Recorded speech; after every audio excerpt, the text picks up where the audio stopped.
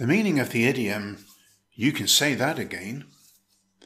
Just a quick reminder continually improve your English. Click the subscribe button, the bell icon, and then all. The meaning of you can say that again. Use this idiom to indicate you completely agree with what has been said.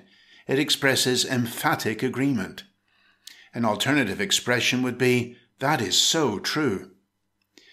Let's look at three illustrated sentence examples and pay special attention to the third example for an added understanding. The scene two sisters talking about their aging father. First sister, Dad is really showing signs of old age. Second sister, you can say that again. He is getting very forgetful. In other words, I completely agree with you. He has a real problem remembering things. Next, in the picture, we see a woman shivering with the cold. Husband, it's so cold today.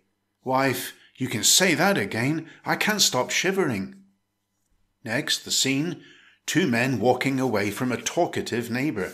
First man, boy, can she talk. Second man, you can say that again. I was beginning to wonder if we would ever get away. Note from this example, if you say you can say that again with intensity, you can show you feel it even more strongly than the speaker. So, in summary, if you want to sound natural like a native speaker, use you can say that again in informal conversation to show you completely agree with what the speaker is saying. Has this video helped you?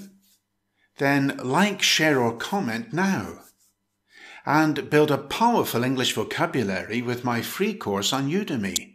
Just go to goodenglish.online.